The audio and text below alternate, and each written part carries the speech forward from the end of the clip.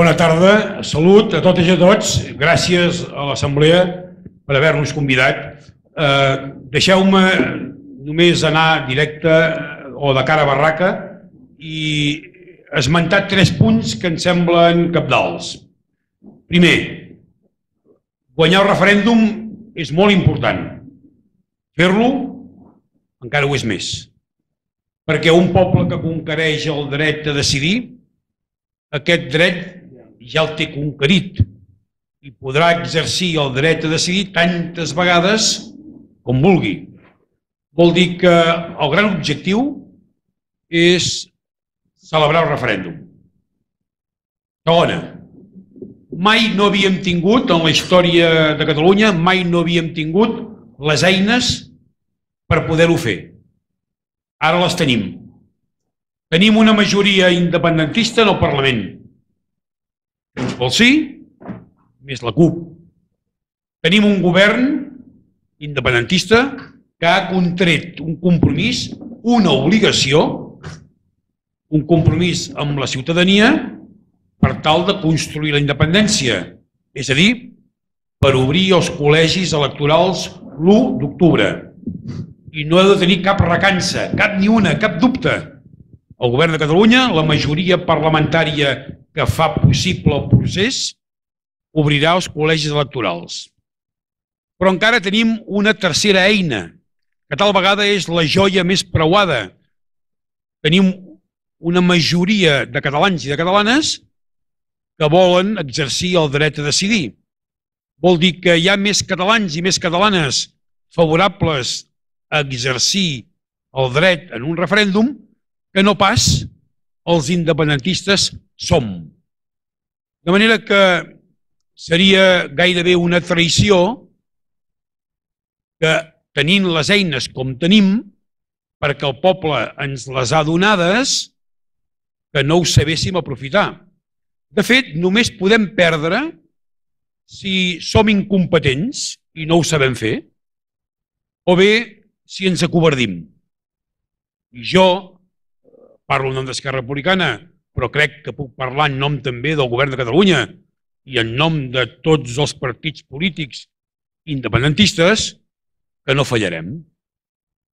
Tercera qüestió. Aquesta bandera estelada l'estimem molt. És una bandera de llibertat, és una bandera de combat, és una bandera que ens emociona. Però de les banderes, encara que portin un estel, no se'n menja. Tot allò que volem fer només té un sentit. Té el sentit d'aconseguir dos objectius. Dos objectius dels quals ja en parlaven els nostres padrins, els nostres avis, tal vegada potser en paraules diferents. Primer objectiu, hem de repartir la riquesa de forma diferent.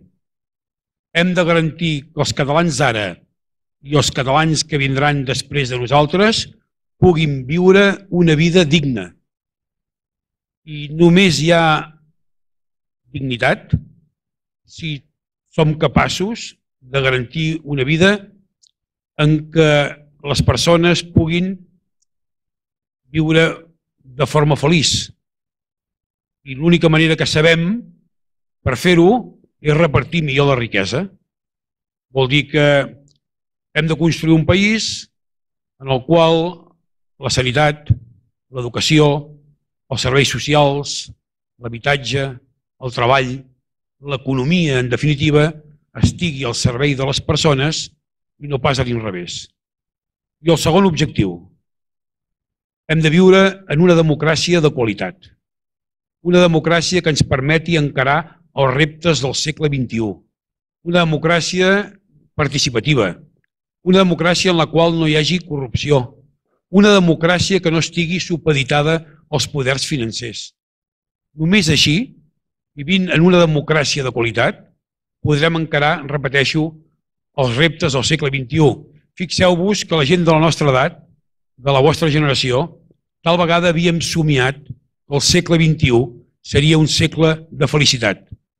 I deixaríem enrere el segle XX, un segle de violències, de guerres mundials, un segle en el, en el qual hi ha hagut grans genocidis i creiem que el segle XXI seria el segle de la tecnologia, el segle de la felicitat, el segle en el qual acabaríem amb la misèria i ara ens adonem amb una mica de terror, de por, que aquest segle XXI tal vegada serà un segle més difícil que no pas el segle que hem deixat enrere.